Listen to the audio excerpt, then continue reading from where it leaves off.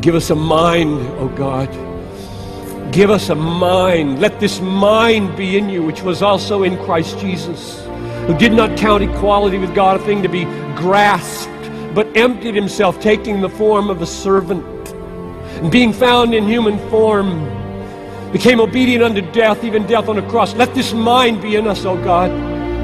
Create this mind in this room right now, I pray. In Jesus' name, amen.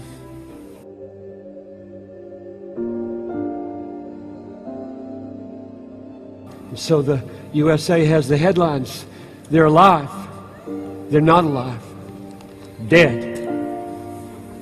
All of them except one, and he's in critical condition. 52 dead in Iraq yesterday, 32 of them at a funeral. Floods in California, fires burning houses down across the southwest. And what phone call did you get yesterday?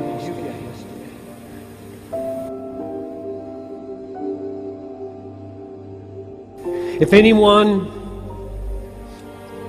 would come after me, let him deny himself and take up his cross. Thank you for the cross his and ours. Matthew 10 21, brother will deliver up brother to death, and father his child. Children will rise against parents and have them put to death, and they will be hated by all for my name's sake. The one who endures to the end will be saved. John 16 1, the hour is coming when whoever kills you will think he is offering service to God. Every radical Muslim believes that when he kills a Christian. Romans 8:16 The Spirit himself bears witness with our spirit that we are the children of God and children and heirs, heirs of God and fellow heirs with Christ, provided we suffer with him so that we may be glorified with him. I count the sufferings of this present time unworthy to be compared to the glory that will be revealed. It's coming. If you haven't had it yet, it's coming if you walk with Him. If you walk with Him. Philippians 1:29 For it has been granted to you that for your sake you should not only believe but suffer. It's granted to you, it's given to you, it's a gift to you with a big bow that you will suffer. 2 Timothy 1 8 Therefore, do not be ashamed of the testimony about our Lord or me, his prisoner, but share in suffering for the gospel, for the power of God. One more, Acts 5:41. They left the presence of the council, Peter, John. They left the presence of the council rejoicing that they had been counted worthy to be shamed for the name.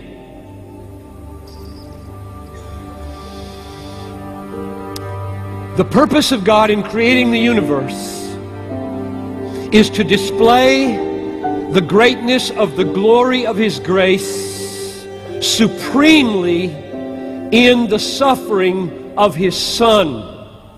That's yesterday. Today, the summons Will you join the Son in displaying the supreme satisfaction of the glory of grace in joining Him on the Calvary Road of suffering? Because there's no other way the world is going to see the supreme glory of Christ today except that we break free from the Disneyland of America and begin to live lifestyles of missionary sacrifice that looks to the world like our treasure is in heaven and not on the earth. It's the only way. The prosperity gospel will not make anybody praise Jesus. It will make people praise prosperity. Of course, I'll have a Jesus who'll give me a car who wouldn't want a Jesus who gives me health, a car, a fine marriage? I'll take your Jesus if the payoff is right. It's not the way you're going to win your campuses. dressing the coolest, driving the coolest, typing on the coolest. It's not going to get any praise for the suffering Christ. He calls you in this service, in this conference, in this life, in this world, in that newspaper world. He calls you to another way. Isn't it the good life? Isn't Christianity the good life? And if, if it's a delusion, it doesn't really matter. We're gone. So who cares if it's a delusion? It's the good life. Wrong. It's not the good life. Paul could not possibly have said, if we have hoped in Christ only for this life, we are most to be pitied if this is the good life. Oh, how wrong we've got it in America. It's really hard to be a Christian in America. Really hard. It's about the hardest place in the world. So he says two things I'm in peril every hour, and I die every day. I choose, I make so many choices to magnify Jesus in hard places. It hurts me every day. I would not choose this if it weren't true. If I couldn't expect a resurrection from the dead where everything would be paid back to me a thousandfold that I have laid down in the service of Jesus, I wouldn't go this way. Christ died for millions of people all over the world, people on your campus, people in the unreached peoples of the world. Their debt has been paid, and they don't know it. They can't taste it, they can't feel it, they can't sing that song. I thank you for the cross, my friend. I thank you for the cross. There's something missing in this suffering. It's not showing up. It's not showing up in 639 unreached people groups, over 100,000 in population that have zero testimony from the people in this room or me. It's not connecting. There's something lacking in the sufferings, namely the presentation, the presentation of the sufferings. It's an amazing statement. And just think about the history of missions for a moment. If you have any inkling of how we got to where we are today with 1.3 or 4 billion people professing faith in Jesus Christ when it started from 12, how did we get there? You know what the answer is? Suffering. There never has been a breakthrough into an unreached place or people without suffering.